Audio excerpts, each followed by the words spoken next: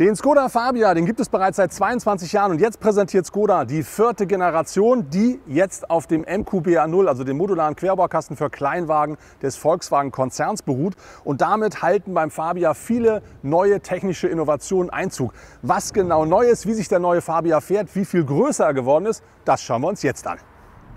Mein Testwagen wird angetrieben von dem Motor, der wohl am häufigsten für den Fabia geordert werden wird. Denn das ist der 1 Liter TSI als Dreizylinder mit 81 kW bzw. 110 PS maximaler Leistung und 200 Newtonmetern Drehmoment.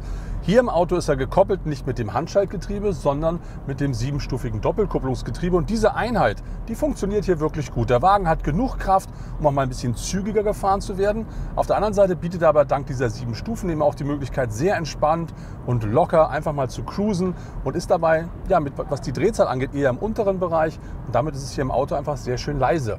Und so kann man diesen kleinen Fabia, egal wie man ihn denn dann fährt, in beiden Fällen genießen. Unser Testwagen fährt vor in einer Farbe, die nennt sich Phoenix Orange. Die passt, wie ich finde, gut zu diesem Fabia, ist aber leider aufpreispflichtig. Der neue Fabia ist 1,78 Meter breit und damit ist er rund 48 mm breiter als sein Vorgänger. Das sorgt natürlich für ein komplett anderes Erscheinungsbild. Das Auto steht einfach viel satter und ja, viel kraftvoller auf der Straße. Wenn wir uns die Front anschauen, wir haben nicht nur den großen, modernen, neuen Skoda Kühlergrill hier mit dem Chromrahmen, sondern wir haben auch komplett neue Scheinwerfer mit an Bord. Und jetzt hat der Fabia immer LED-Scheinwerfer mit dabei, bereits in der Basis.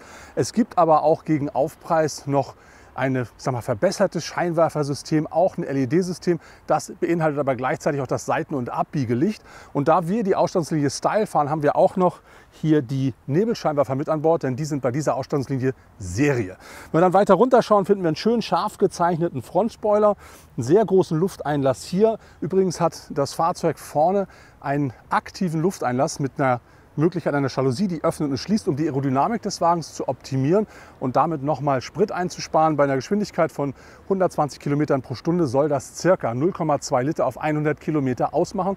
So kann man auch Geld sparen. Im Interieur unseres Fabia finden wir typisch für einen Kleinwagen viel Kunststoff. Das fängt hier an, geht hier oben auf dem Armaturenbrett weiter und auch hier unten oder an der Mittelkonsole ist es einfach Plastik. Aber das ist beim Fabia richtig gut verarbeitet und vor allen Dingen dank des neuen frischen Designs wirklich schön verpackt. Und diese Verpackung macht viel aus. So haben wir zum Beispiel hier im Auto jetzt ein durchgehendes Element in der Kontrastfarbe, das über die ganze Fahrzeugbreite läuft, hier unterhalb des Armaturenbretts und sogar durch die neuen, jetzt runden Lüfter hindurchläuft und einfach dafür sorgt, dass man dort wirklich hängen bleibt mit dem Auge. Denn es sieht so ein bisschen aus wie ein aufgestecktes äh, Triebwerk auf einen Flügel. Und darüber hinaus finden wir am Armaturenbrett jetzt darunter eine Oberfläche, die ist mit Stoff bespannt und hat hier Kontrastnähte und auch das wertet den Innenraum massiv auf. Und so hat man in diesem Fabia eigentlich nicht das Gefühl, in einem Kleinwagen unterwegs zu sein. Und außerdem wird dieses selbstbewusste Auftreten des Fahrzeugs nochmal unterstrichen durch die Fabia-Schriftzüge, die man jetzt hier oben rechts und links vom Cockpit eingraviert vorfindet. Das aktuelle Einstiegsmodell des Skoda Fabia wird von einem 1 Liter Benziner angetrieben und kostet in der Ausstattung Active 16.290 Euro. Später soll noch eine günstigere, nur 66 PS starke Version folgen. Einen Opel Corsa mit einem 1,2 Liter Benziner und 75 PS gibt es bereits ab 14.600 Euro.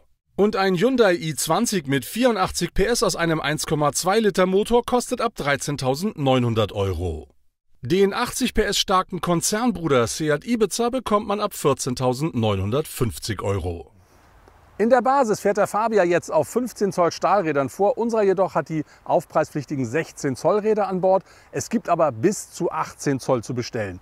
Der Fabia ist nun erstmals über 4 Meter lang und zwar ziemlich genau 4,11 Meter und damit ebenfalls ziemlich genau 11 Zentimeter länger als sein Vorgänger. Wir haben einen deutlich gewachsenen Radstand. Hier reden wir jetzt von 2,56 Metern und das heißt, dass das Fahrzeug nicht ganz 10 Zentimeter mehr Radstand gewonnen hat und das sorgt natürlich für ganz andere Innenraummaße. In der Höhe ist nicht wirklich was passiert. Hier sind es nur wenige Millimeter, die das Auto flacher geworden ist.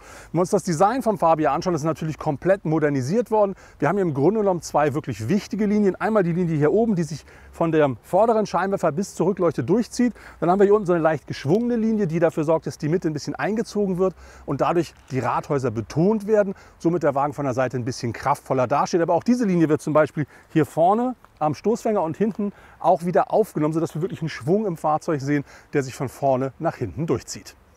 Wenn wir uns die Sonderausstattung unseres Autos anschauen, wir haben hier mit an Bord das große Panorama-Glasdach. Das ist übrigens das größte in der Klasse, kostet aber leider rund 640 Euro Aufpreis. Und wir haben ebenfalls die sogenannte Sunset-Verglasung, das heißt die Seiten- und Heckscheiben abgedunkelt. Auch das gibt es nicht kostenlos. Hier werden 220 Euro fällig. Zu der Basisausstattung des Fabia gehört unter anderem ein 6,5 Zoll großes Touchscreen für das äh, Radio. Es gehört dazu Digitalradio oder aber auch eine Klimaanlage. Es gibt aber natürlich vieles mehr, was man fürs Auto bestellen kann oder was man durch höhere Ausstattungslinien automatisch dazu bekommt. Einiges als Einzeloption, einiges in Paketen. Und äh, dazu gehören Dinge wie zum Beispiel das große Panorama-Glasdach oder dazu gehört eine Zwei-Zonen-Klimaautomatik und vieles, vieles mehr, sodass man sich seinen kleinen Fabia sehr schön konfigurieren kann.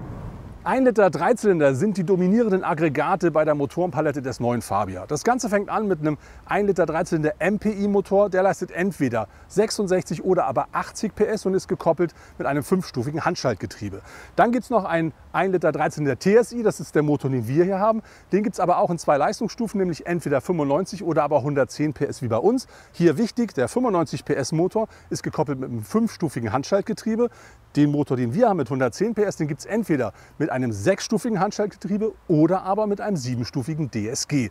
Später im Jahr gibt es dann noch die neue Top-Motorisierung fürs Auto. Das ist dann der bekannte 1,5 Liter Vierzylinder aus dem VW-Konzern und der leistet dann hier, wie bei allen anderen Modellen, auch 150 PS. Obwohl der Fabia ein Kleinwagen ist, hat er dennoch die wichtigsten Assistenz- und Sicherheitssysteme immer mit an Bord. Und dazu gehört unter anderem eine Müdigkeitserkennung, ein Spurhalterassistent, eine City-Notbremsfunktion oder auch eine Multikollisionsbremse. Man kann aber auch dank der neuen MQB A0-Plattform jetzt reichlich zusätzliche Assistenzsysteme bestellen. Und ein ganz wichtiges Paket, das ist der neue sogenannte Travel Assist. Den kennen wir aus anderen Volkswagen-Konzernmodellen und der verschafft dem Fabia jetzt unter anderem die Möglichkeit, quasi teilautonom zu fahren durch eine Abstandskontrolle, durch eine Verkehrszeichenerkennung und durch einen aktiven Spurhalter. Und das ist für so einen Kleinwagen schon ein ziemlicher Schritt nach vorne. Aber man kann natürlich darüber hinaus noch mehr Assistenten bestellen, Teile davon in Paketen, Teile einzeln und damit kann man seinen Fabia nicht nur sicherer, sondern auch noch mal komfortabler machen. Das Kofferraumvolumen des Fabia ist wirklich massiv gewachsen, denn er bietet jetzt exakt 50 Liter mehr.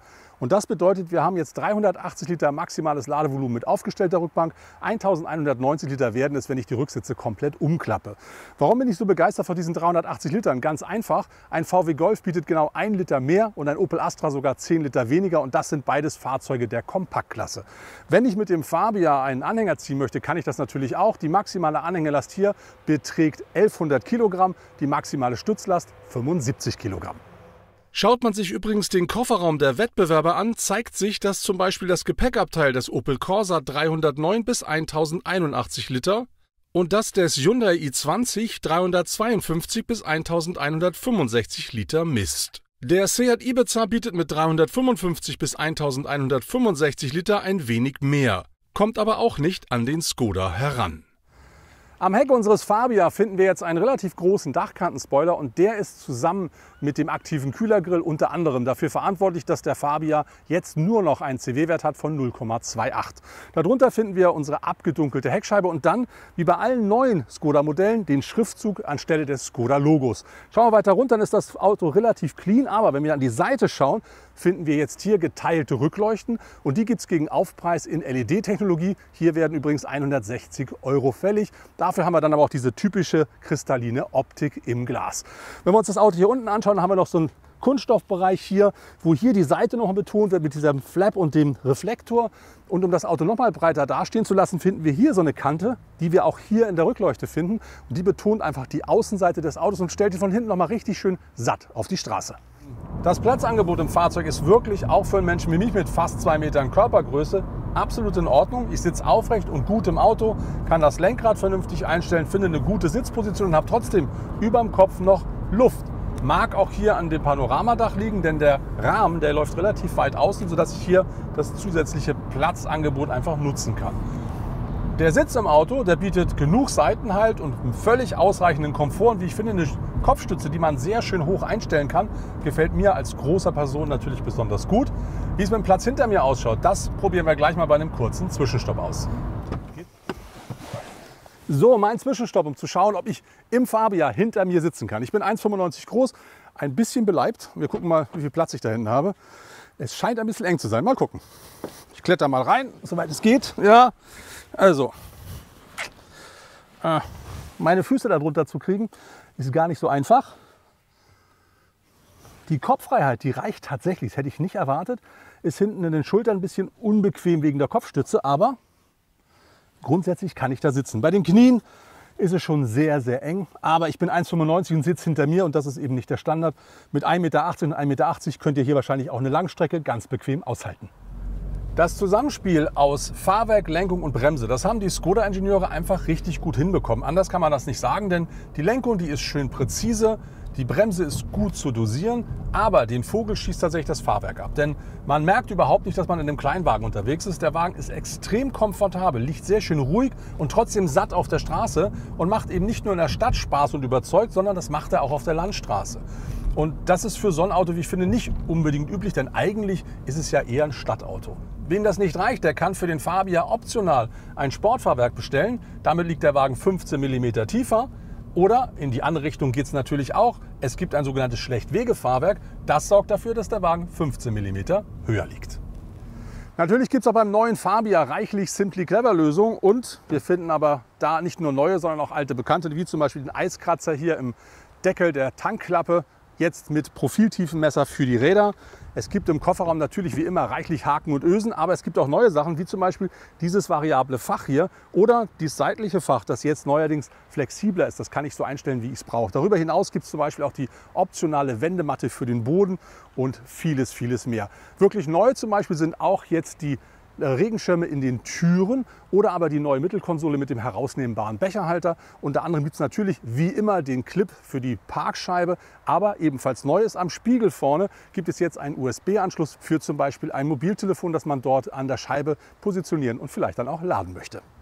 In der Basis hat der Fabia noch analoge Instrumente mit an Bord, aber es gibt mittlerweile zumindest optional ein voll digitales Cockpit zu bestellen. Das hat eine Bildschirmdiagonale von 10,25 Zoll und ist, wie wir das auch von anderen Konzernmodellen kennen, voll anpassbar. Das heißt, ich habe zum einen unterschiedliche Ansichten und zum anderen kann ich mir die Inhalte auch noch so platzieren und aussuchen, wie ich sie gerne haben möchte.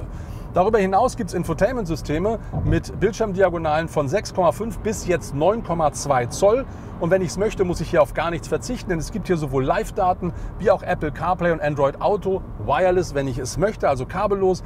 Und natürlich die Möglichkeit, meine Geräte auch mit dem Kabel per ähm, USB oder aber auch, wenn ich möchte, per Bluetooth zu verbinden. Beim Thema Ablagen bietet der Fabia das, was man von Skoda erwartet, nämlich reichlich Fächer. Und dazu gehören unter anderem vernünftig dimensionierte Fächer in den Türen vorne auf der Fahrer- und Beifahrerseite, aber auch eine Mittelkonsole, wo wir vorne ein großes offenes Fach finden. Da gibt es unter anderem zwei USB-C-Anschlüsse und auch das induktive Laden. Dahinter kommt die Schaltkulisse und da finden wir selbst beim Automatikfahrzeug einen klassischen Wählhebel, denn dieses Auto verzichtet auf das Shift-by-Wire-System, da es den Fabia nicht rein elektrisch geben wird. Dahinter gibt es eine normale mechanische Handbremse, auch mittlerweile nicht mehr üblich. Und daneben ein neues Fach mit einem herausnehmbaren Becherhalter. Dann gibt es die Mittelarmlehne, die ist leider nicht verstellbar. Darunter gibt es dann aber noch mal ein kleines Stauffach. Wenn ich auf die Rückbank schaue, dann finde ich dort die verlängerte Mittelkonsole und da dann wieder USB-C-Anschlüsse, leider aber optional und auch einen zusätzlichen Becherhalter. Aber natürlich gibt es auf der Rückbank auch noch mal Ablagen in den Türen und zwei Becherhalter in der herunterklappbaren Mittelarmlehne. Das war meine Probefahrt im neuen Skoda Fabia. Und zusammenfassend kann man sagen, das Auto ist wirklich deutlich moderner geworden. Das gilt nicht nur für das neue Exterieur- und Interiordesign, sondern natürlich auch für die neuen Assistenz- und Sicherheitssysteme und auch das neue Infotainment. Darüber hinaus bietet das Auto deutlich mehr Platz als vorher und einen riesengroßen Kofferraum für dieses Segment. Kleinen Tipp von meiner Seite, wer sich so ein Auto bestellt, sollte auf jeden Fall 50 Euro extra ausgeben, denn dafür gibt es das Tank-Upgrade. Das heißt, wir haben nicht mehr 40, sondern 50 Liter zur Verfügung und das heißt, wir können hier Reichweiten von über 900 Kilometern erzielen. Zum Thema Fahren, diese 1-Liter-Motoren, die passen richtig gut zum Auto, die machen Spaß und mit dem 110 PS-Motor, den wir fahren durften, gerade auch in Verbindung mit dem DSG, kann man sowohl richtig schön gemütlich unterwegs sein, wie auch mal etwas sportlicher über Land fahren.